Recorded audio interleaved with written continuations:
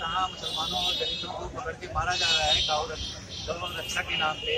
कभी ट्रेन में, कभी जुनैद को मार दिया गया, कभी किसी को मार दिया जा रहा है। अभी दो तीन दिन पहले जो है, मैनपुरी के पास मारा गया दस बारह लोगों को, और हम उसके अगेंस्ट प्रोटेक्ट कर रहे हैं, क्योंकि हमारे ज़्यादातर जो स्टूडेंट्स हैं, वो बहुत दूर दूर से आते हैं जामिया में पढ़ने के लिए। तो वो हमें फ़ोन करके ये कह रहे हैं कि हम ट्रेन में आए और हमें कोई मार दे, हम कैसे आए यहाँ पे जामिया वापस?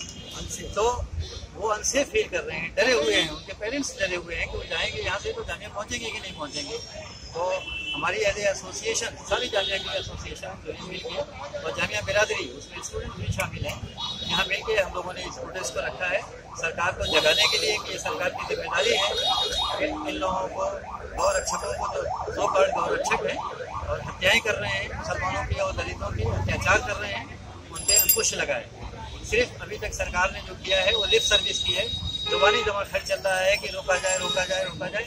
रोकना तो सरकार को है। सरकार नहीं रोक पा रही है उनको। हत्याएँ करने से और हत्याएँ मुस्तकिल होती जा रही है लगातार होती जा रही हैं। तो हम उसके विरोध में यहाँ पे प्रोटेस्ट निकाला है।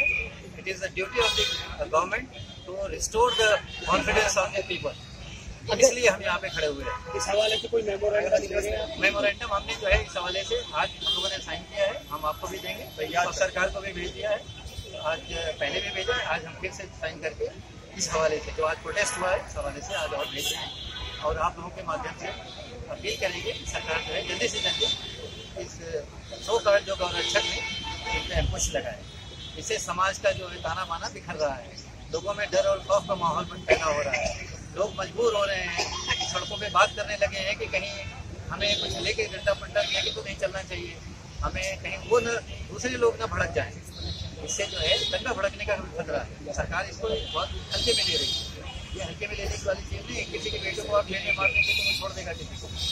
तो इसलिए हमारी एज एसोसिएशन यूनिवर्सिटी एसोसिएशन होने के नाते ज़िम्मेदारी है कि हम सरकार को जगाएँ और बताएँ कि ये हालात और बिगड़ सकते हैं देश के।